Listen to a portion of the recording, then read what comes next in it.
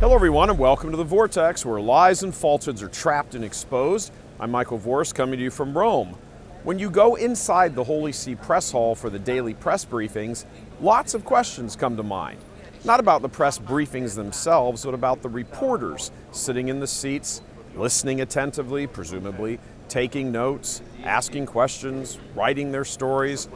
But these men and women aren't robots or machines, they're human beings. Human beings, like all human beings, who have a predetermined belief system, a values approach, a worldview.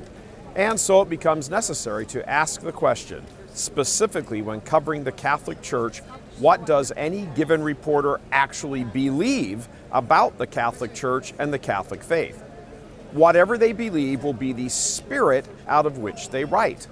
For example, a believing, practicing Catholic understands that the Church is the bride of Christ, the mystical body of Christ, established by Christ, the incarnate second person of the Blessed Trinity, who came to earth as Savior and established this church as the sole means or vehicle of salvation, outside of which there is no salvation. That view, which is true, creates the prism through which a Catholic reporter views, sees, and understands all that happens in the church, some of which is on display at these press briefings. So, what he or she writes or presents comes from that understanding the understanding that this life is spiritual warfare, that there is a devil and hell, and those forces are arrayed against humanity in general and the church specifically. The primary target of the demonic is truth, and therefore the church is always being assailed since she is the bearer of truth, divine truth. No other body on earth has the sacred duty of announcing and bringing salvation to the world. So the believing, practicing Catholic journalist reports always with that ultimate truth in mind.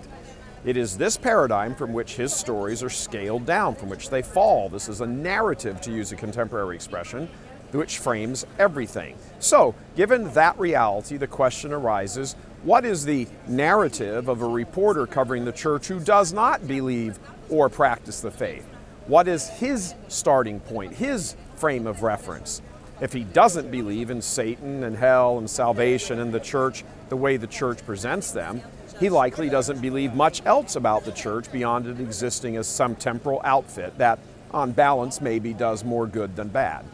So the actual content of the reports, in fact, the very topics chosen to report on, begin from an insufficient understanding of the church.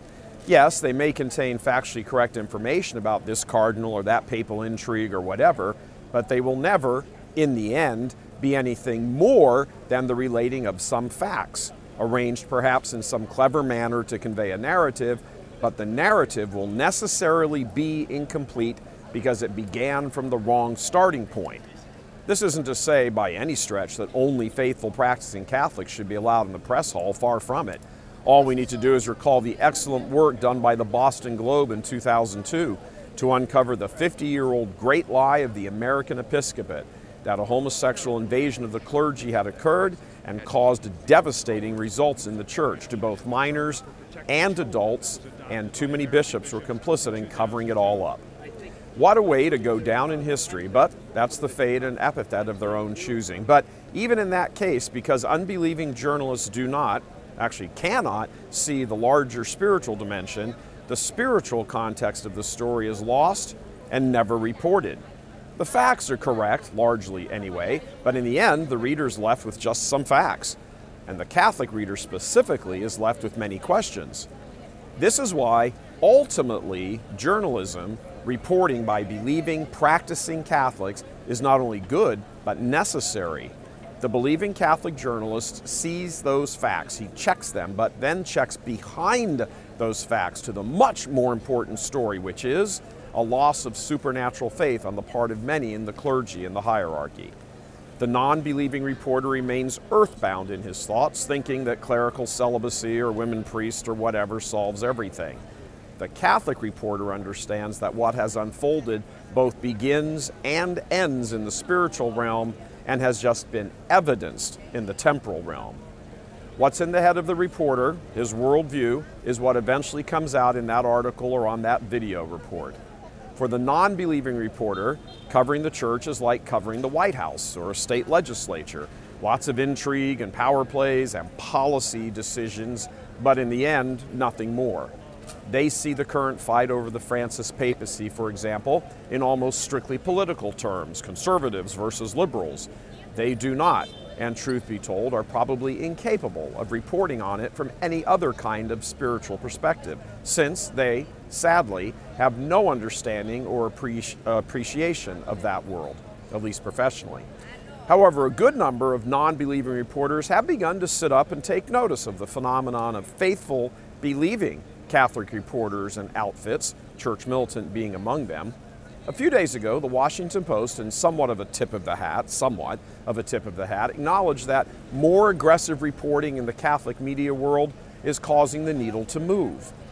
Reporting about the ongoing scandal in Buffalo and Bishop Richard Malone and the seminary, the Washington Post said, quote, some said the expanding of a more aggressive Catholic media in the past couple of years has emboldened Catholics, including seminarians, to challenge the hierarchy. Closed quote. Well, that's true, absolutely. And to whatever degree Church Militant has helped bring this new reality into existence, then blessed be God. But the larger, more important story, again, the spiritual angle, if you will, is the idea not just to get Catholics to challenge the hierarchy, but to call the hierarchy back to their sacred duty to be true shepherds. That angle you will not hear from unbelieving reporters because it's never on their radar. Outfits like Church Militant, for them, are always operating out of some political agenda or alt right media empire building plan or whatever. It really does matter for reporters the answer to the question what's in your head? Coming to you from Rome, I'm Michael Voris. God love you.